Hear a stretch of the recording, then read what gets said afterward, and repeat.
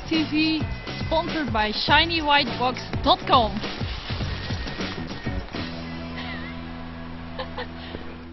On the edge of real and cyberspace, there's one place you can go, and you found it. Welcome to KWTV 0010. Today from the planet Hoth, where Imperial walkers coming from that way will probably attack the rebel generator situated over there.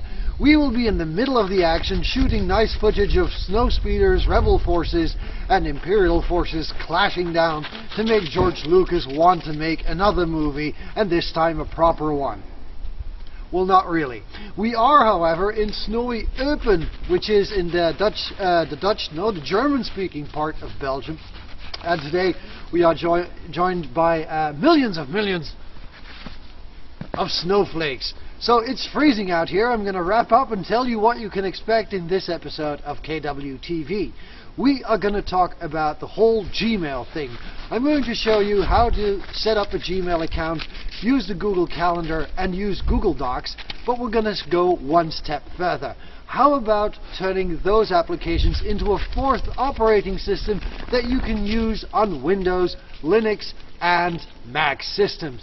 I'm going to show you how to use the whole Google thing and use it offline using an application called Google Gears.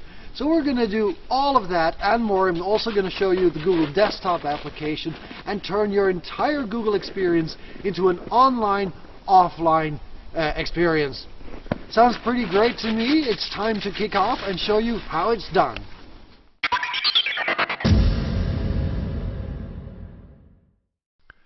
The first thing we're going to do is make a Google account. Go to www.gmail.com and click on sign up for a new account. You will be asked for some information as your first name and your last name and of course the desired login name. Check if this name is available by going to check availability. In this case the uh, login name is already in use so I'm going to think of something else. And that is actually also going to be my email address. KWTV feedback is still available. And then you get to choose a password. Now make sure it's kind of complicated, has lowercase, uppercase, characters or numbers in it, and Google will tell you whether it's weak or strong. In this case it's a weak password. So we're going to think of something more complicated. That looks okay. And then you have two options, to be remembered on this computer, so the computer remembers your password, and to enable web history, which lets Google kind of remember what you search for and what you visit. For security reasons, I would advise you to deselect both of them. If you forget your password, you can actually let it be sent to you by answering a secret question. In this case, I've uh, thought up my own question. What is my favorite TV show? And the answer is quite obvious, KWTV. You'll, ask, you'll be asked for a secondary email address. That is, if you lose your password, the system will send your password to this secondary email address. You'll be asked for your location. In this case, that's going to be Belgium. There it is. And you will do the CAPTCHA. I hate the CAPTCHA. I am not very good at the CAPTCHA at all agree to the terms of service, blah, blah, blah, blah, blah, blah, blah, and click to accept the account. Oh, okay. I have uh, fracked up the uh, whole CAPTCHA thing, so I re-enter my password and try again. I-N-G-R-A-G-N-O-L Whatever. I accept. Create my account.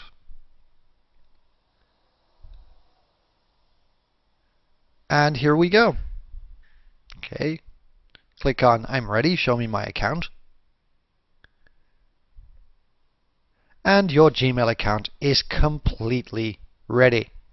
You will have your inbox, your start, your chats, your sent mail, your drafts, all mail, everything that's available in the Gmail mailbox. Well done.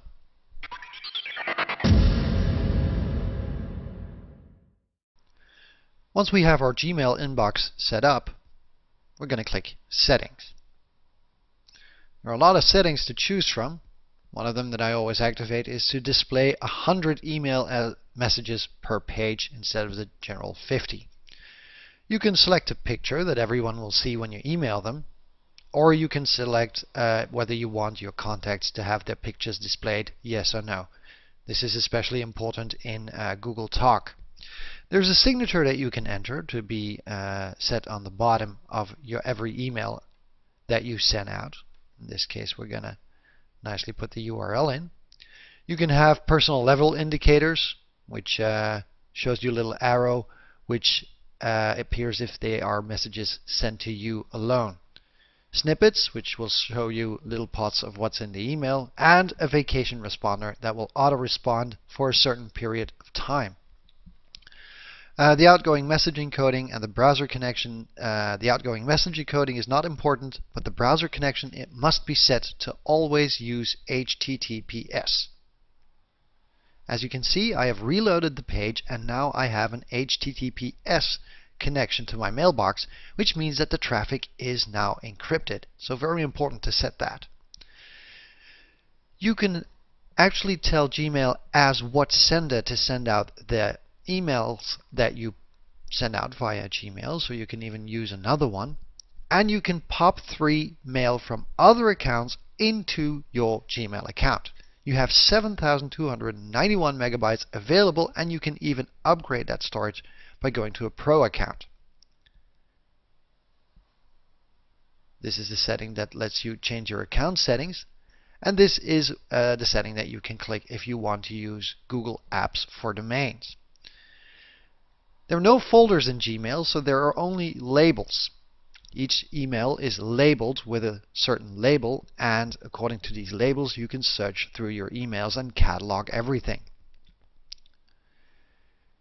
Filters are, email, are Gmail's way of working with rules. So you can set a filter whenever an email comes in. It will process that email and put it not in a certain folder, but tag it with a certain label. It takes a little bit of getting used to, but it works pretty fine.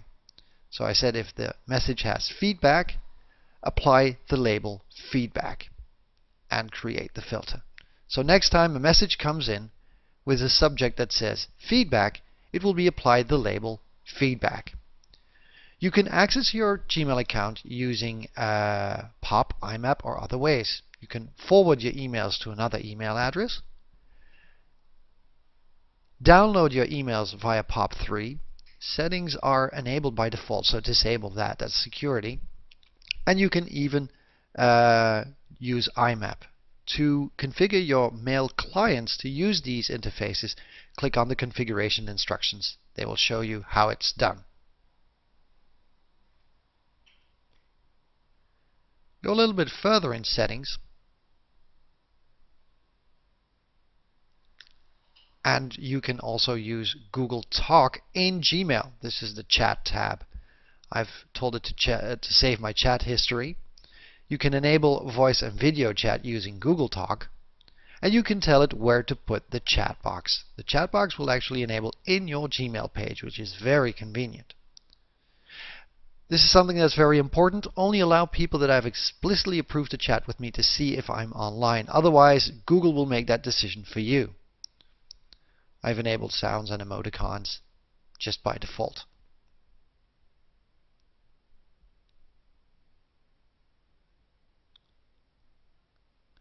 Web clips is some spam that arrives, uh, that you know, just some spam messages at the top of your mail.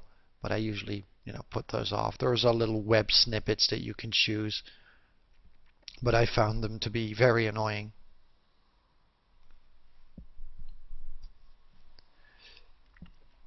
But what is cool is themes. You can change the standard layout of your Gmail by changing the themes. So we have a lot of themes to choose from. We're going to pick one, see how it turns out. Here, the Pebbles one. See? Now you have all kinds of pebbles and rocks. You can even choose a different one if it uh, doesn't suit you.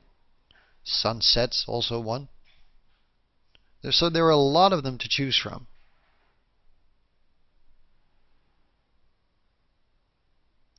There are some that are um, tied to your location, so I think that's a little bit of weird stuff. But I don't know what planets has to do with my location. If I type in Mars, I'll probably see Mars. This is a very funky and futuristic Gmail interface other than the uh, standard blue and white that were used from Google. I'm going to go to the settings menu one more time.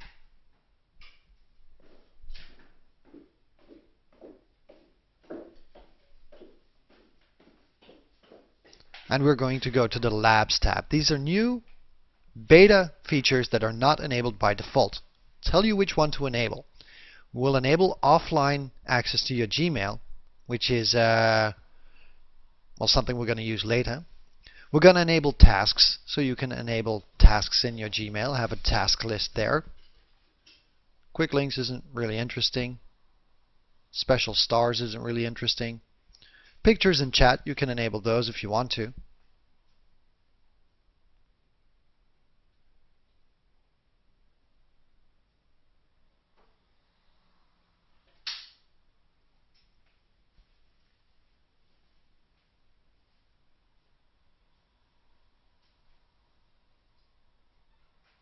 and there are a lot of other ones.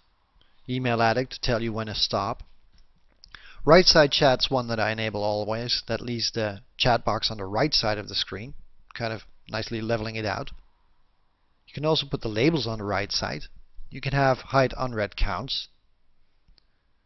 You can set it to reply to all. There are several settings. You would uh, have to take a look at that.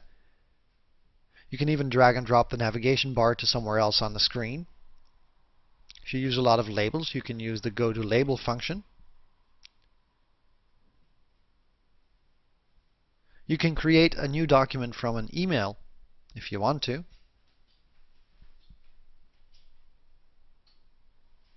And uh, I usually enable the Google Calendar gadget, which is going to be very handy when we do that, and also the Google Docs gadget. This will integrate your Google Calendar, which we'll configure later on, and your Google Docs with your Gmail interface.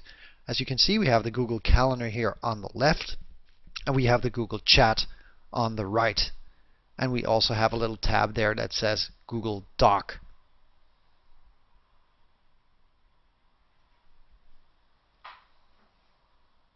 Oh. Show you that Google Docs there.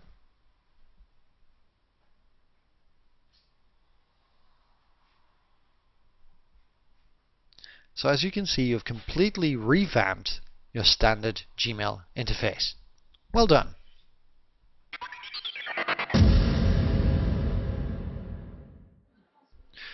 In the next part of this manual, we're going to start with Google Docs. As you can see, we've got the chat window and everything all up and running, so it's time to take it one step further. To do this, open a new tab and go to www.docs.google.com or just hit docs.google.com. Since you're already logged into your Gmail account, you can just press continue to go to your Docs setting right away. As you can see, you're in Docs. And if I go back to my Gmail page, I will have my documents links up on top. And um, if I load the Google Docs app again, you'll see that it is activated and that I can now access the Google Docs. So I'll see if I can make a new document. I've got the settings in Dutch, should be in English actually. So let's see if we can change that. There you go. English US. Let's see if we can refresh that. There you go. That's in English. And you see we don't have any documents yet, so let's make some. New document. And it's a great online um, well, basically a word processor. I'm going to call our new document test document. Hit OK. Hit save and close. And uh, it takes a while before it to populate, so you possibly need to refresh. See all items. Let's try again. Another test. Test. Okay, save and close. Hello. There, save and close. That should do the trick. There you go.